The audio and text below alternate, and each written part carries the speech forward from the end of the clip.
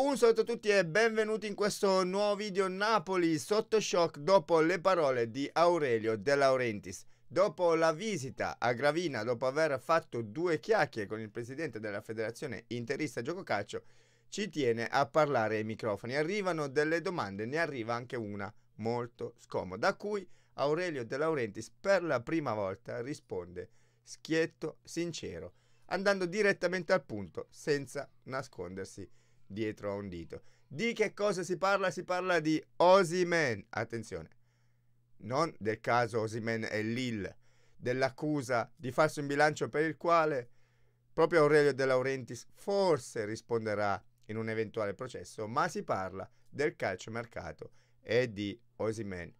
Io vi dissi qualche tempo fa, qualche mese fa, che molto probabilmente sarebbe stata l'ultima annata di Osimen al Napoli ed effettivamente mi sono sbagliato.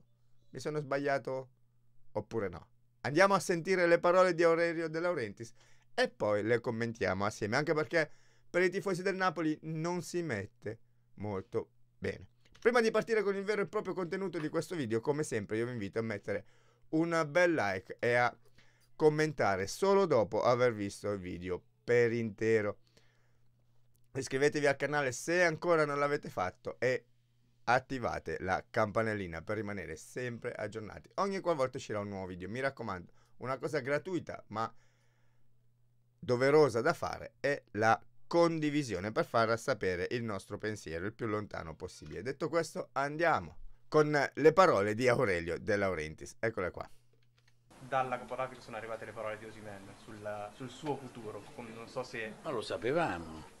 Già tutto stabilito. Ma questo lo si sapeva già da quest'estate.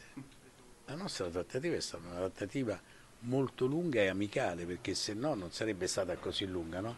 Lei quando ha un amico si vuole trattenere a lungo con l'amico, no? E quindi uno così allungava il brodo, allungava il brodo, allungava il brodo, ma sapevamo perfettamente che lui sarebbe eh, andato o al Real Madrid o al Paris Saint Germain o a una squadra inglese. Con Zielinski non c'è invece più speranza di Attenzione, perché allora è proprio come vi dissi io, anche se la maggior parte dei media non toccavano mai proprio questo calciatore, non ne parlavano mai, né per quanto riguarda il caso della plusvalenza totalmente fasulla e nemmeno per quanto riguardava il calciomercato. L'anno scorso il Napoli volava sulle ali dell'entusiasmo in primis dei media che continuavano a spingere, diciamo a soffiare per gonfiare le vele della barca a vela del Napoli che si è sgonfiata. Le vele si sono sgonfiate immediatamente, è bastato solo un calciatore che entrasse in crisi e per i tifosi del Napoli ecco che si rivede di nuovo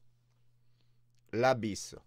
L'abisso perché non si vince più una partita e i migliori giocatori vanno via. Addirittura per Zelischi si parla dell'Inter, un interessamento dell'Inter e ci dice Aurelio De Laurentiis, sempre in questa intervista, che da quello che legge sui giornali Zelischi prende più soldi a Napoli di quello che gli darebbe un'eventuale proposta dell'Inter.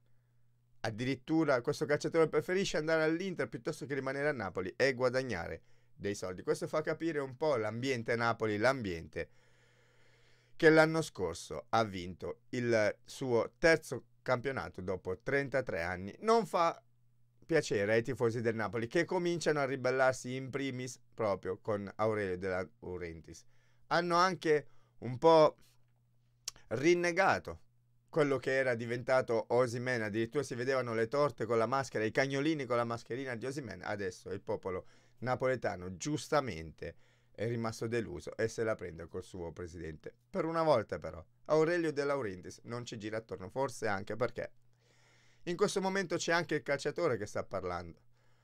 C'è anche Osimen che continua a dire la sua, continua a far capire e a far sapere che dopo eh, il TikTok fatto proprio da il manager, il social media manager del, del Napoli, dove praticamente si sfotteva il calciatore dopo aver sbagliato un calcio di rigore, si erano rotti gli equilibri per poter rimanere a Napoli e lui voleva andare via a tutti i costi. Io ve lo dissi che sarebbe stata la sua ultima annata ancora prima della discussione, anche perché un calciatore così forte sicuramente è molto appetibile per tutte le grandi squadre.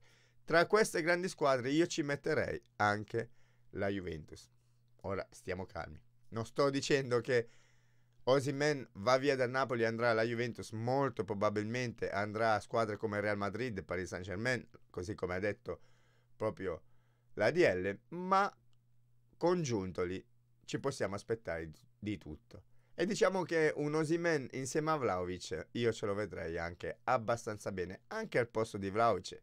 Sacrificarlo, per carità, poi c'è da mettere sul piatto della bilancia i pro e i contro di uno scambio tra Vlaovic e Osimen. Comunque è un affare che mi solletica molto il palato. Detto questo, per i napoletani non si mette bene, anche perché abbiamo visto il Napoli con Osimen, abbiamo visto il Napoli senza Osimen, ma per il Napoli proprio causa Osimen, potrebbe mettersi ancora peggio qualora la richiesta del PM Chinè fosse accolta e venisse aperta un'indagine, quindi andare a processo per quanto riguarda poi il falso in bilancio dello stesso De Laurentiis con il Napoli. Ricordiamo operazione non fittizia ma fasulla quella di Osimen, dove i quattro calciatori di cui tre non hanno mai calcato i campi di Serie A, neanche a Lille, sono stati valutati circa 20 milioni di euro.